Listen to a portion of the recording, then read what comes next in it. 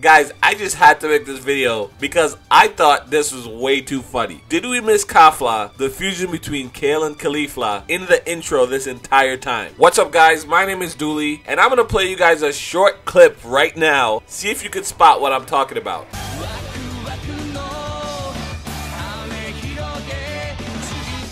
Did you see it? If not, let me slow it down one more time. Guys, who is that?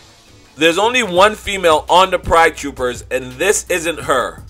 So, who is this menacing looking woman who is clearly being hidden standing behind Jiren? It looks a lot like Kafla to me. Guys, yeah, before the Kale police get in the comment section, I know there's a chance that this could be Kale as well. But realistically, Kale is timid and shy. We have never seen her look like this in any episode. And a couple seconds later, Kale gets her own close up with her transforming into Berserker mode. So I don't think there's a reason to have her hidden over Jiren's shoulder. Plus, it's a lot funnier if this really is Kafla and none of us ever noticed. Anyway, this was just a quick little video. I thought this was hilarious because I definitely never noticed this. I want to give credit to Reddit user Nutshell for inspiring this video. Did any of you guys notice this before this video? Be honest, let me know in the comments below. I'm working on another video that's taking me far longer than I wanted to, but the goal right now is to get it up after the episode review on Sunday. So look forward to that. Remember to like this video if you enjoyed it. Remember to subscribe if you haven't done that yet.